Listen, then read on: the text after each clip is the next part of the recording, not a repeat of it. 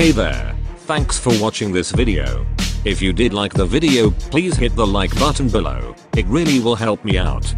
If you have any question about this video, please leave a comment below and I will do my best to answer that question. And of course if you like my video please follow and share my video. Thank you and have a wonderful day.